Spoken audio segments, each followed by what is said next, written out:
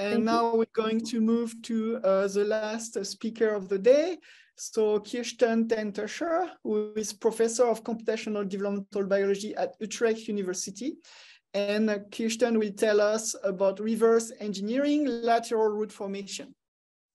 So thanks for having me. Um, so what I'm going to talk about has already for uh, a little bit ago been uh, published in development. And it was actually work from two of my PhD students, Joana Santos Teixeira and Thea van den Berg. But well, they both finished and left academia. So this is, I guess, why you are stuck with me. So in my group, we are very interested in understanding the development of the plant root system and um, particularly using multi-scale modeling uh, to contribute to that understanding. And well, as you can see in this picture, plant root systems are typically branched, and these branchings arise from so-called lateral roots. And what is interesting about these lateral roots is that they don't emerge on the outside of the plant, but rather they arise from the inside of the plant. So lateral roots, they originate from a tissue that is overlaying the vasculature of the plant. And the earliest sign is a sort of asymmetric division. Then you get a number of uh, periclinal divisions forming this sort of dome. And then as this dome grows and develops, it really has to push and fight its way through overlaying tissues to emerge into the soil and start to contribute to foraging for nutrients and water. Now, these stages that I just described from this initial asymmetric division onward, for those we have um, molecular markers. And also under a microscope, we can see that something is happening. But as I said, um, what is happening is that some cells overlaying the vasculature start doing this. And the processes that set apart which cells are going to do this are much less understood. And the problem is there that we don't have clear molecular markers and that we also don't have a way to morphologically discern these cells. So what we do know, and this is very intriguing for people, for example, familiar with vertebrate somitogenesis, is that uh, in the tip of plant roots, just above the meristem where there are the stem cells and the cell divisions, there is a so-called oscillation zone where oscillations in the plant hormone auxin in the signaling thereof are occurring. And the debate in the field has been a bit, is this actual oscillations in the levels of this hormone? Or is it rather oscillations in the perception machinery, so in the signaling itself of this auxin hormone? Well, as for vertebrate somitogenesis, these temporal oscillations are through growth transduced into this repetitive pattern of so-called pre-branch sites which are the cells that receive competence to form future lateral roots, even though, as you can see with the star, not all of them will actually do that because plants have to be plastic. They have to respond to their environment. What you also see in this picture with this pre-branch site is that, well, there is high auxin in the meristem. That is what cells need to divide.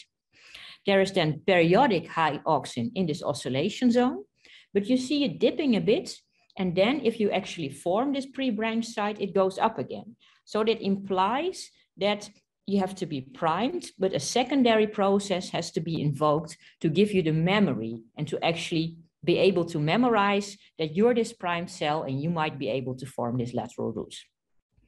Well, as said in my group, we use multi-scale modeling to try and answer these type of questions, what is going on there. So what we typically do for these kinds of models is that we uh, we make a root anatomy. So we take into account this sort of pointy shape with a root cap protecting the stem cells. Uh, we take into account the different zones of the root and the different cell types. And then as illustrated here, we take from the literature, uh, for example, expression patterns and polarity patterns of uh, auxin exporters, which have a very typical pattern. So they're membrane proteins exporting auxin, and they're not localized all around on the membrane, but in the vasculature, so in the middle, they point downward. In the root tip, they are sort of apolar. And then on the sides, they're upward and inward. And people have been calling this a sort of reverse fountain or reflux loop for auxin. Well, like we include this for exporters, we also include experimentally derived patterns for auxin importers, for auxin production. Um, and when we model these auxin dynamics and we do similar things for gene expression, and this gives us detailed uh, spatial patterns um, of auxin and also um, other hormones and other uh, and genes depending on that. But that's only one side of the coin. At the other side of the coin is also that we model um, root growth dynamics. So typically in the orange zone where um, we have the stem cell niche, we ignore divisions there because they're very, very slow. But then the very first few stem cells, we allow them to divide, still slow.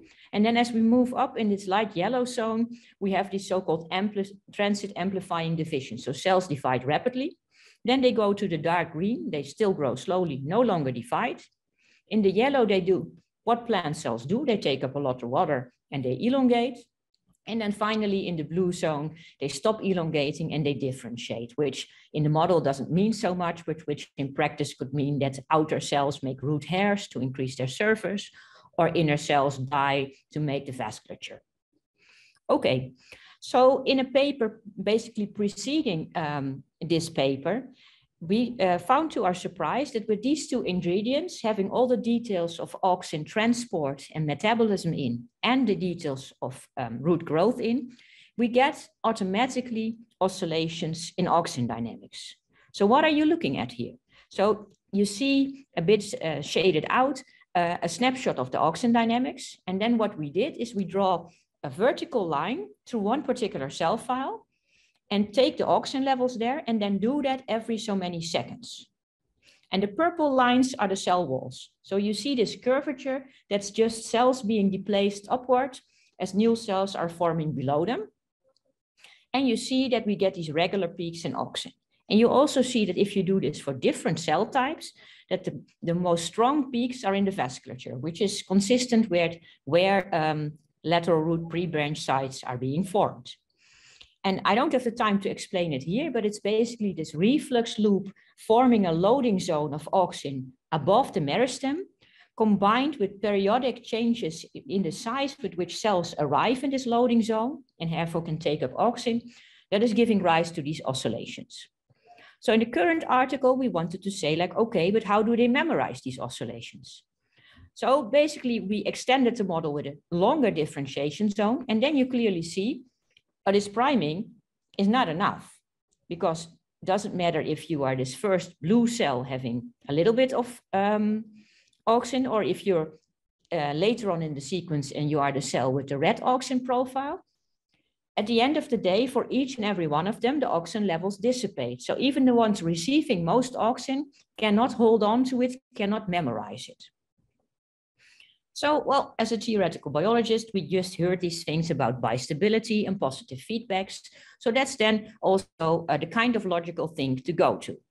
So we know that early on in lateral root formation, we have an upregulation of auxin importers, AUX1, LAX3, and also of auxin producing enzymes like UCA4. So we decided to make a positive feedback loop because we know they are auxin induced. And we do that with a little bit of delay because we know we have to have this response secondarily. So only once a certain differentiation threshold is reached. But sadly, if we compare the dashed with the solid lines, that didn't make much of a difference. And this makes sense because we have growth in our model. So basically, these cells are continuously being pushed away from the zone of the root where you have high auxin. So this positive feedback has to work against the context in which you lose auxin constantly. So then we said, well, but we have this debate in the field.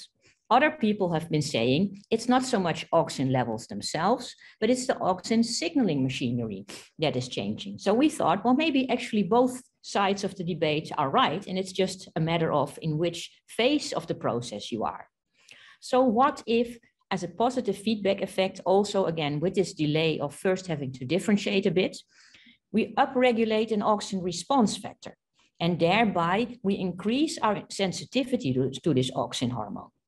Well, that worked like a charm, but unfortunately, we now see that uh, the, the purple and blue cells that start off with little auxin, so they are not primed, and the red and pink cell, the ones that receive most auxin during priming, they all undergo this secondary response.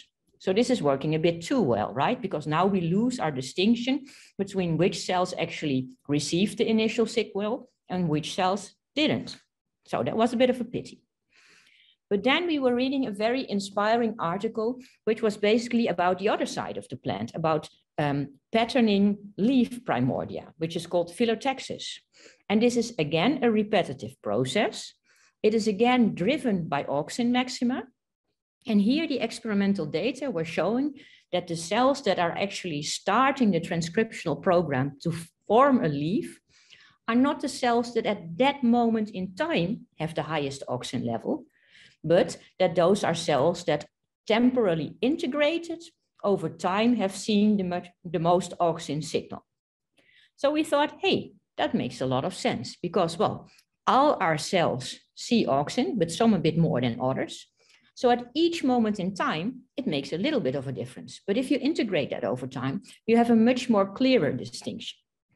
So we assumed that this is some sort of epigenetic process, hence our variable EPO, epigenetic open state.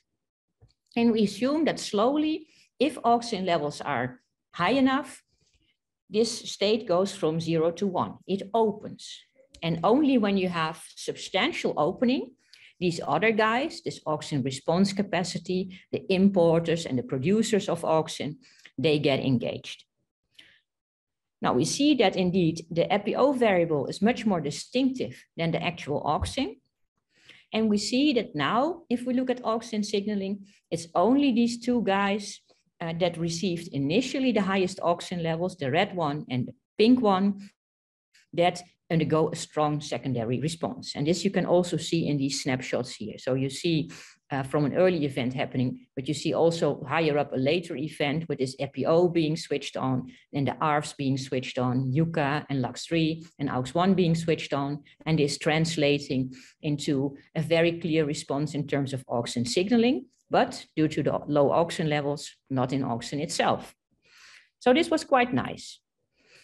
Now, there were a few issues remaining, namely, priming occurs on two sides in Arabidopsis because you have two xylem poles. But if you saw this initial picture with the wavy root and laterals on either one side or the other, the, this pre-branch site and this lateral root formation only occurs on one side. And also it typically starts with only one cell. So we have to get rid of the pink brother and we have to get rid of one of the two sides. So what we did there is we assumed that there is a little bit of noise, and this can be in an auxin importer, in an auxin producer, or in auxin sensing. And that is sufficient to break symmetry, to get a competition for auxin going, and to have only one side remember that it's being primed. And also we included a sort of lateral inhibition type mechanism. Quite a few of those are known and we incorporated one of them. And that is sufficient to go from the pink and the uh, red line to only the, the red line remembering this priming signal. And this is just to compare um, the kymographs that typically come from our simulations, where you also see this going down from two prime cells to one cell, gradually losing the signal. And if you would tilt that kymograph and you would augment it because you would follow what is happening to cells longer, that then you get something that is very similar to the experimental kymographs. So concluding, we think that this priming is an emergent property that arises from the interplay between growth and auxin transport. And because the vasculature cells are the most narrow, they profit the most from periodic variations in cell size. So that's why they show this clearest signal. And what we also show is that while priming itself requires auxin, the memorization requires an upregulation of auxin signaling, reconciling a prior debate. And we think it is very nice that uh, at least we hypothesize that also in this periodic auxin patterning mechanism on the other side of the plant, temporal integration would enable a much more robust distinction of which cells should form a lateral root. And that then with a few more details of lateral inhibition and noise, you can really fully explain uh, this patterning process. And with that, I would like to end and thank everybody that has been or is in my lab and my collaborators. Thanks a lot. Okay, so are there any question, please? okay, maybe uh, I'm going to start uh, with uh, with a question of, of my own. So um, I, I, find very interesting that you have this time integration of a parameter, and if I relate to the first talk, for instance, where there was discussion about control parameter of a bifurcation uh, and pseudo time. So would you say that this time integration would ac actually work like a pseudo time, uh, inducing a bifurcation, or is it a completely different process? Ooh, that I find hard to, I think here it really helps, um, well, to, to get a clearer distinction. But I think what it also really does in this process is because you have this space-time integration, so maybe the, the cell having the second highest auxin, it arrives earlier in the elongation and differentiation zone. So if you would start differentiation based on, oh, I have quite some high auxin levels compared to my neighbors, and then the guy arrives, um, which, which actually has the highest auxin levels. So in order to make sure that that process works okay, also it helps a lot to do this sort of temporal integration because then the difference between these two guys is much clearer and it's much easier to guarantee that indeed the one that initially received the highest auxin level will also really go for the developmental decision. But well, in a sense, of course, it does yeah, it is a control parameter engaging then uh, the next bifurcation of setting in motion this positive feedback and memorizing or not memorizing. Okay, thanks a lot. So there's uh, another question by by uh, the panelists on the panelist side. So um, for, uh, from Alex uh, have you looked at available genetic data to see if there's any in vivo evidence that supports the uh, EPIO, EPO parameter, EPIO parameter? Well, um, I would love to, but actually that is uh, quite uh, difficult. So um, the thing is that these lateral roots, they emerge from this, this um, pericycle and it's just a very few cells. So even if you do single cell transcriptomics, the whole problem is that prior at this stage, we don't have another molecular marker or a clear anatomical sign yet. So you're really fishing for a needle in a haystack. So of course, my hopes would be that if now we get better detailed data, single omics data from early stages of lateral root, you pick up on something and then maybe you can do convince somebody to do targeted experiments and say, okay, this guy is actually engaging earlier on. But it's a, it's very non-trivial uh, to, to get a hold of that precisely because of this lack of um, marker and this um, very low numbers compared to the total cell number you have of this cell type. Okay, thanks a lot.